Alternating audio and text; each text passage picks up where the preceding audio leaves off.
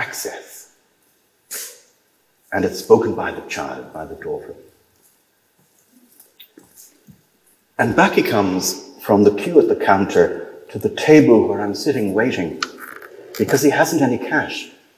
The same as last Saturday and in the same McDonald's too. But I say instead, Dad. I haven't called him Daddy for a long time. It was Dad by the time he left. It was Dad for ages before that, even. It just happens at a certain stage, 10, 11, sooner for boys, I suppose, and you don't notice. First, you stop saying Dada. Then you stop saying Daddy. Perhaps there's a point when you don't call him anything at all. I'm sorry, Wagsy, he says. I'll go to the pass machine. And off he rushes, slipping in between all the other separated dads, carrying trays ahead of their children, with his rolled up newspaper jutting out of his pocket, in the long navy coat that he wears when we meet at the weekend, because I hate his anoraks that make him look so poor. I still haven't decided to tell him my news. Can I sit here, says a mother, bossy with Sundays and tea bags. And I explained, my dad is sitting here, my mum is sitting here, my dad's gone to get money. You can't reserve seats, she says, it's just not fair. She has hairs on her cheeks like sideburns. She smells of apple flavour, toilet freshener. But I say to her, my dad will be back in a moment. In fact, the pass machine isn't working, and my dad has to traipse across the road with a bus beeping him into the newsagent where he buys, this is true, a fart cushion for me and a copy of sugar to get cash back for our happy meal. I don't want a happy meal, I say to him. What I want is a cheeseburger, a caramel sundae, and a medium diet Sprite. I'll have the happy meal, he says. There's a character from Lord of the Rings in it. I thought you loved Lord of the Rings. We saw it twice. I'm too old for a happy meal, I say. All the people getting happy meals are about two. I'm in sixth class. I have to read an article out of the Irish Times every week. Then I have to do bullets about it on the board. Well, he says, if you're so enormous, you can get the grub. he has shaved everywhere except around the psoriasis beside his ear, and he looks nice, really, without the scruffy beard. Also, he has cut the bits of skin that stuck up around the moons of his fingernails. I watch him from the queue as he punches his newspaper out in the middle, and I wonder what he'd say if I tell him. He would be over the moon, actually. He is not like other dads.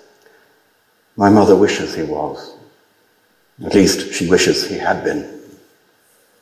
Shay Shay, I say to the Chinese man who hands me our lunch, because Shay Shay is the Chinese for thank you, and it must be nice for them to hear their own language. I am not Chinese, he says, I am Korean American, but fair play to you.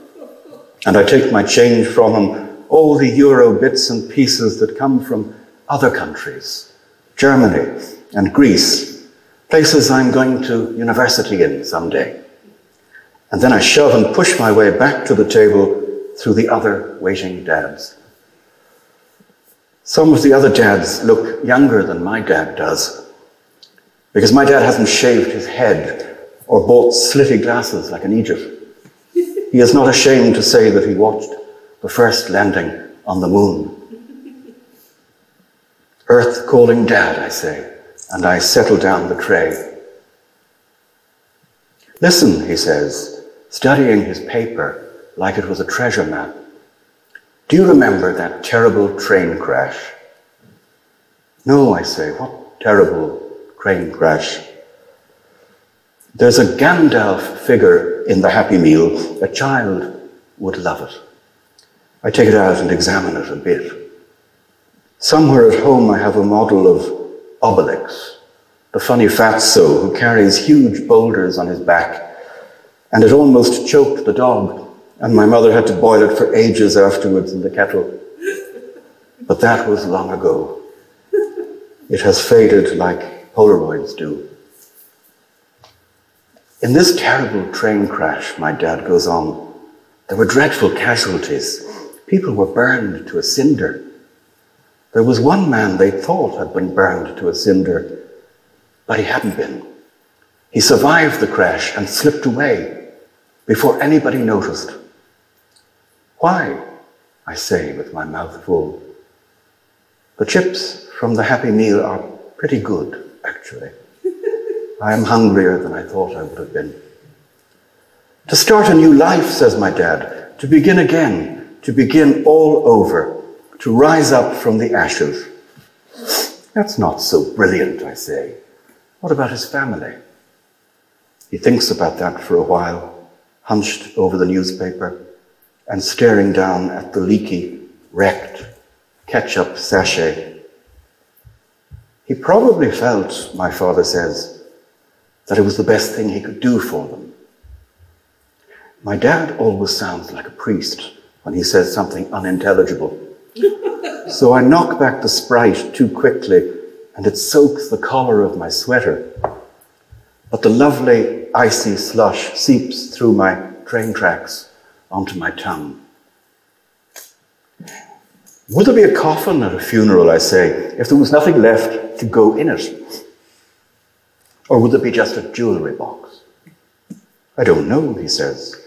You could bury a photograph or a change of clothes. That's why Mum went mad, I say. You say weird things in a priest's voice. My father stares through the window at the other dads in their shirt sleeves smoking outside in the car park. How is she? he says. How is Mum?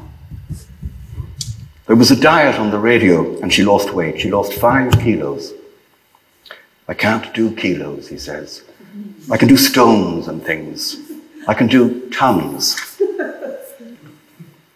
There is less calories in chocolate gold grain digestives than there is in Weight Watchers, I tell him. She was pretty pleased about that.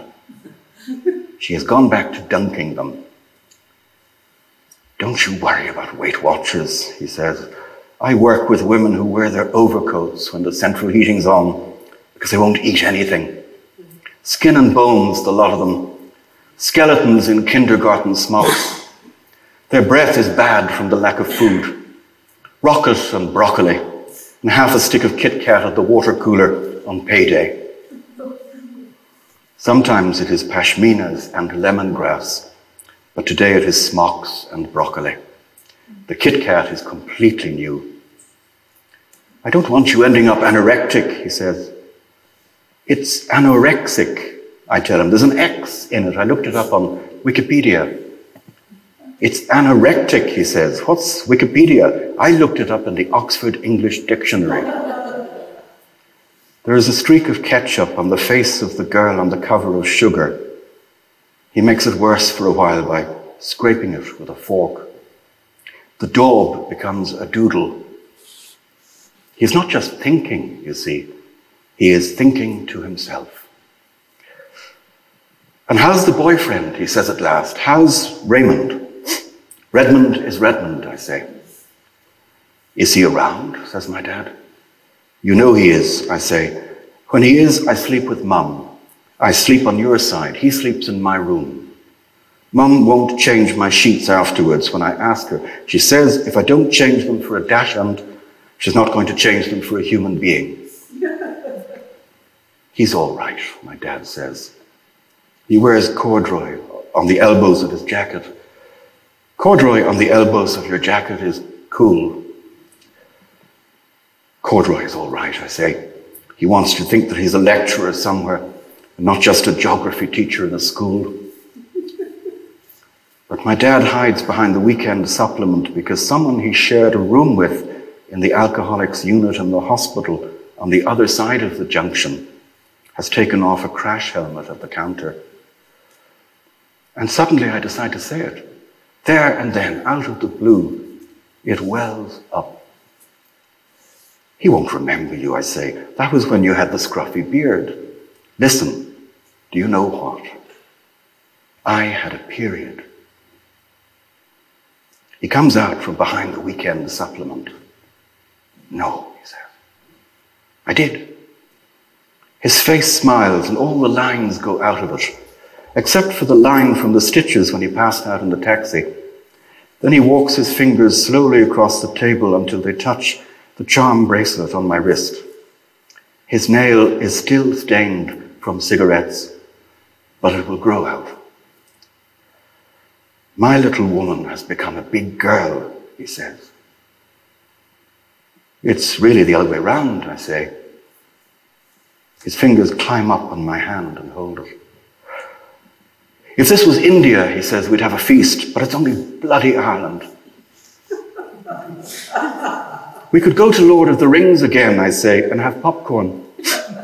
We'll do better than that, he says. Much better. We won't have a feast, but we'll have a field trip. We'll go to the dolmen. And we get up and go, just like that. Like we always do. While the man with the crash helmet is hiding his face from us with his gauntlet, and the separated dads are taking the burger bread and breaking it and blessing it and giving the pieces to their children. Access to the dolmen is through a long passageway, a lane between wooden American houses with flat roofs and eucalyptus trees on a ridge that looks down over Dublin. You could stop and pick out the shopping centre and listen to the low, throaty sounds of the motorway, but guard dogs growl at you as you go by and wedge their noses between the planks of the partition fences so that you run past them. I am a bit too old to hold my dad's hand, but I hang on to the button of his coat sleeve. Imagine, he keeps saying, my little woman has become a big girl. It's been a year at least since the last time we visited the dolmen, but it is still there, as quiet as ever. The shiny capstone long enough to play hopscotch on, and the two big dogged uprights where a family sheltered during the famine, and where we ate a box of after eights in the rain on my first Holy Communion. At the far end of the field, where a metal plaque on a post reads, Office of Public Works, a horse is rubbing its tail end against it. Drool is running from its mouth like a sort of yogurt. I was always saying to the priest, we should come here early on Easter morning and read the resurrection stories, says my dad. But the priest thought it'd be too cold. Dad, I say, I don't like the horse. Why is he rolling around in the nettles? My dad looks at him. You would think he was a vet examining a specimen. He's a mare, he says finally. He's having a foal. Look at how big he is. Let's go back, I say. Look at her dribbling. We'll go round the other side, Dad says. We'll, we'll circle her. But when we reach the dolmen at last, and Dad goes into his druid mode, resting his palms on the side of the capstone, and then his forehead too, the horse straightens and stands up and looks at us. I do not think she is in search of a sugar lump. Dad, I say, she is walking towards us. There's room in the world for the three of us, he says, not forgetting the foal He's back, you see, in the days of picnics here and me squatting behind the trees when I had to. The people who raised these stones are still in our bloodstream, he says. You can hear them with a stethoscope. then the horse quickens towards us and lowers its head like a bull would. Like a bull, it charges at us. And I let my father's coat sleeve drop and I run away. I am running so fast I cannot hear my feet, or my legs, or my body, only the wind and the sky. When I stop, I hear the world again. I look back. Get out of the field, Wagsy, my father shouts. Get out. He's walking backwards between me and the horse, holding his hands up like a soldier surrendering. Then he trips and falls, and the horse rears up over him, whinnying, rolling its eyeballs, goo peeling like white of egg from its gums, and its mad hooves peddling the air. Daddy, I say. Daddy. The horse soars, stops, swerves to the side, and canters off. Midges are settling on my skin. My dad comes scrambling to me. His face is as red as if he had been drunk. And we do a sort of three legged race to the car, the two of us, to the fart cushion and the magazine and all the empty takeaway cartons that are the middle of God. My little woman has become a big girl, he says, but his breathing is still in ruins and his hands twitch on the steering wheel. I know that I am much older than he is and that he is already aged. I bleed for him. My big daddy has become a little boy. I walk my fingers slowly over his arm until they touch his watch strap. We better not let your mum find out about this, he says. The next thing you'd know, I'd have to see you with a social worker. The moon has come up on the left hand side of the car, although the sun is still shining down on Saturday afternoon. I'll tell her we went to Lord of the Rings, I say. For the third time. For the third time, he says. But she'll try to catch us out. She'll ask, which episode did you go to? Was it episode one or episode two or episode three? She'd go and check the bloody CCTV. I rubbed the hairs on his hand backwards, like a parent should. There is a bit of a hangnail on the moon of his left thumb and a dent on the thumb where the French door slammed at the Holy Communion party. Once upon a time, I used to suck his cigarette finger for the taste of it. The garden shed and the summer evening scent of it. If I did that now, of course, they'd come and take him away. So I rubbed the hairs on his hand forwards again. Dada, I say. Dada. Thank you.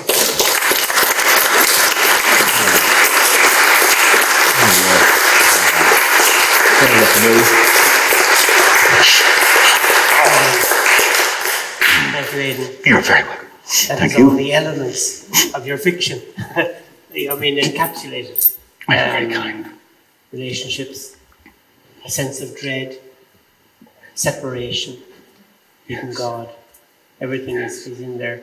I mean, there's an extraordinary continuity in how you explain life, um, and which is in your poetry, even in your most recent book of poems.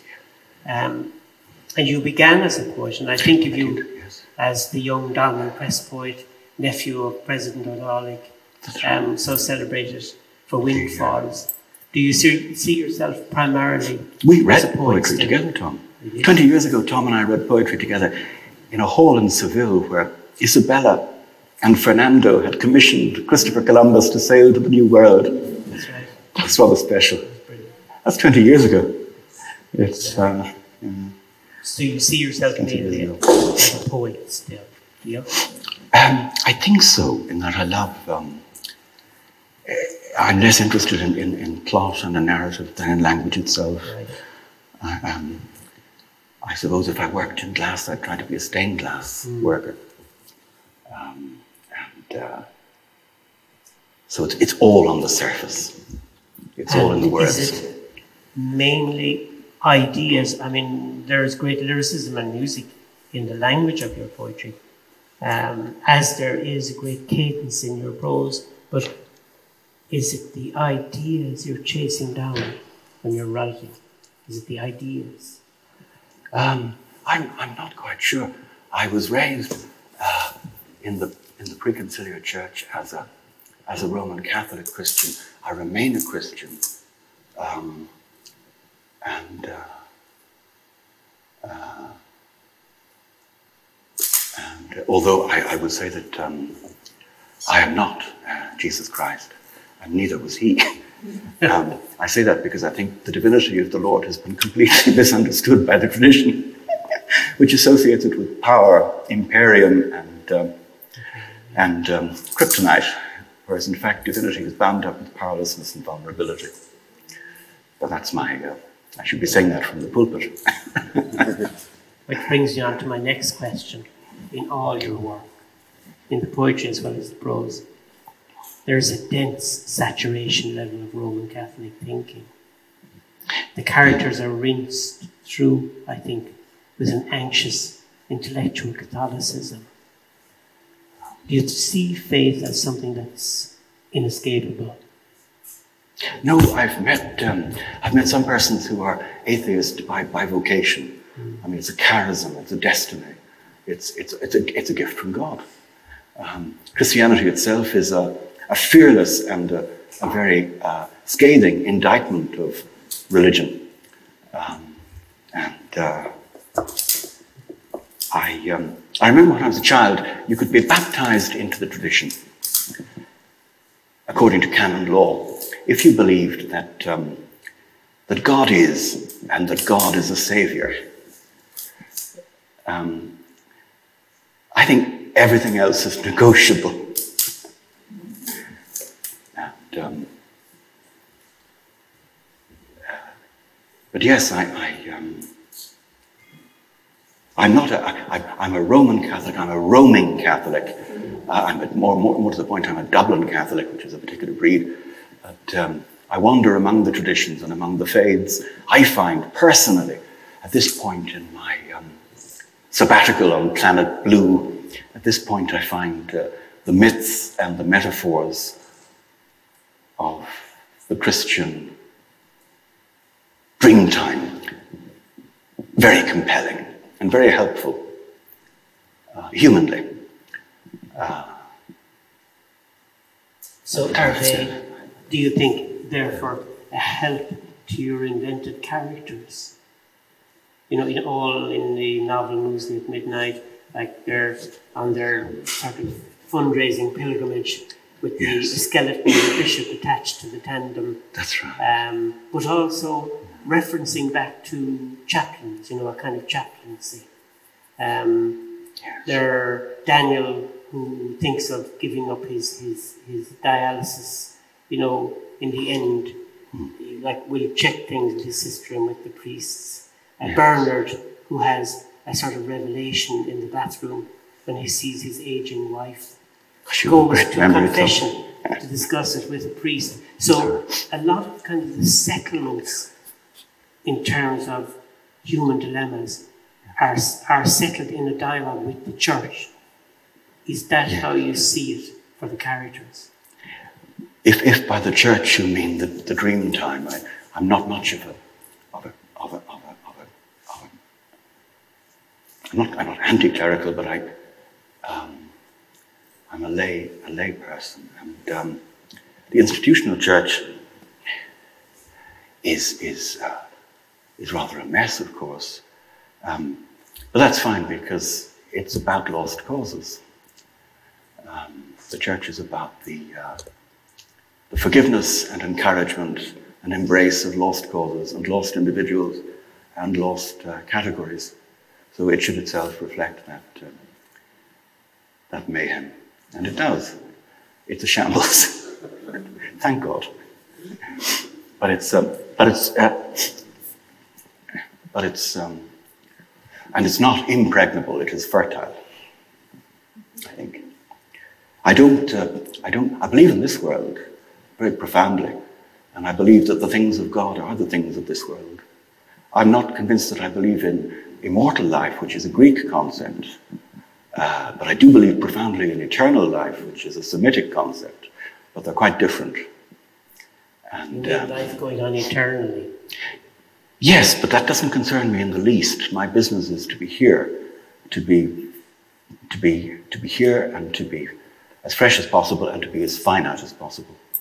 Um, that's my business, and uh, I think there's no there's no point in um, there's no point in hypothesizing about um, anything else. Mm. Much as a, much as a sperm, a self-flagellating sperm traveling upwards toward the womb, um, probably imagines that this isn't much of a life.